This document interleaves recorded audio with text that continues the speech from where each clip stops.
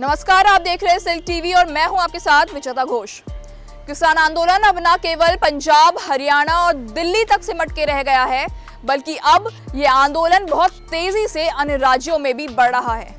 एक तरफ़ जहाँ किसान केंद्र सरकार द्वारा लागू किए गए तीनों नए कृषि कानूनों की वापसी की मांग कर रहे हैं और कृषि कानूनों की वापसी के सवाल पर सरकार से सिर्फ़ हाँ या ना में जवाब चाहते हैं, वहीं दूसरी तरफ़ सरकार है। जो बीच का रास्ता निकालने का किसानों को ऑफ़र कर रही है। लेकिन किसान अपनी मांग से टस से मस होने को तैयार नहीं है।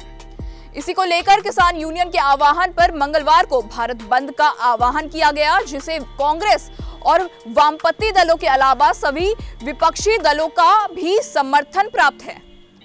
देश भर में किसान आंदोलन के समर्थन में आए दिन धरना प्रदर्शन का दौर जारी है।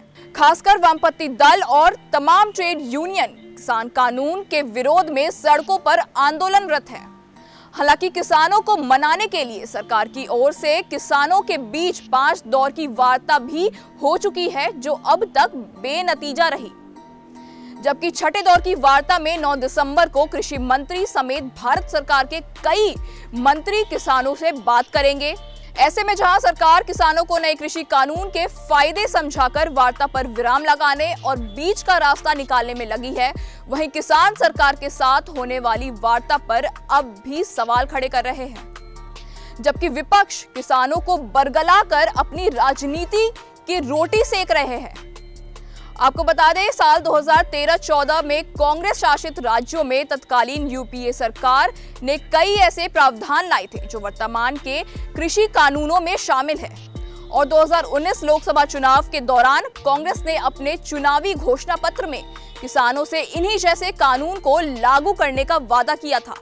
लेकिन अब भाजपा शासित नेतृत्व वाली केंद्र सरकार ने जब नए कृषि कानून में उन्हीं वादों को लागू कर दिया तो विपक्ष उसे किसान विरोधी बता रहे हैं।